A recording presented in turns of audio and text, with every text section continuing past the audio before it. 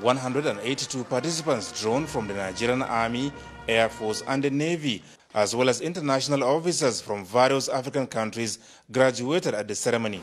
I, Air Vice Marshal Lawal Shitu Alao, the Commandant, Armed Forces Command and Staff College, Jaji, Nigeria, do hereby confer on you passed staff course. Thank you, sir. President Muhammadu Buhari, attending for the first time since coming to power, congratulated the graduates for their accomplishments, describing them as future leaders of the nation's armed forces.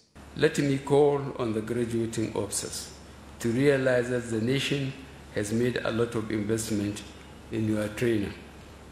Likewise, the nation is expecting the best from you in terms of commitment to your duties and fatherland.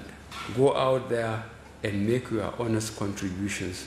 He commended the Nigerian armed forces for appropriately responding to the various challenges of security confronting Nigeria, especially the Boko Haram insurgency, militancy, kidnapping, as well as activities of separatists and armed militia. The armed forces, he also said, contributed immensely towards stabilizing the West African sub-region as well as promoting world peace, citing Liberia, Sierra Leone, the Gambia, Mali and Sudan as some of the countries where Nigeria is highly appreciated.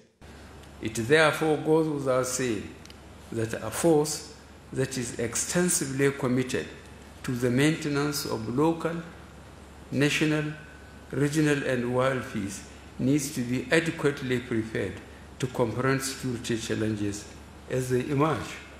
That is what is expected of an institution like this. The president used the forum to restate the commitment of the federal government towards stabilizing the country for efficient management, repositioning the economy, and fighting corruption. In Nigeria, there is a tendency to lay the blame for the state of affairs in the country on the doorsteps of the leaders alone. Yes, leaders have a major role to play in providing direction and the enabling environment.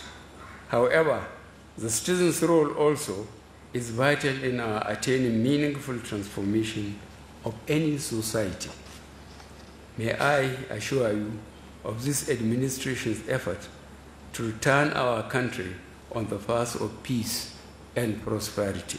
The Commandant Armed Forces Command and Staff College Jaji Air Vice Marshal Lawal Shitu Alao had earlier assured the President that products of the college can be relied upon for value addition to their various services in the discharge of their mandates. In view of the asymmetric nature of the contemporary security challenges in the country, the college recently reviewed the senior course curriculum to emphasize counter-terrorism and counter-insurgency packages.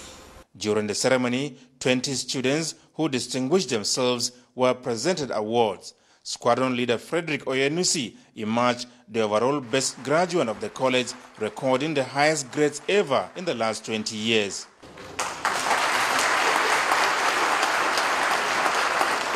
Thank you very much, Mr. President. For his achievements, Squadron leader Oyenusi was not only given a plot of land but also conferred with an honorary citizenship of Kaduna State by Governor Nasir Ahmed El Rufai.